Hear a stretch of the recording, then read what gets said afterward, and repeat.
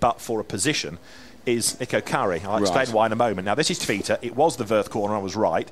He goes through the gravel. He's back on the track. And Peter Lee is just unsighted. Straight into the back. Corkscrews in the air. PK very nearly goes over as well as he had a car knocked into his path.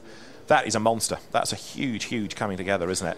And as you say, it was dust, wasn't it? You,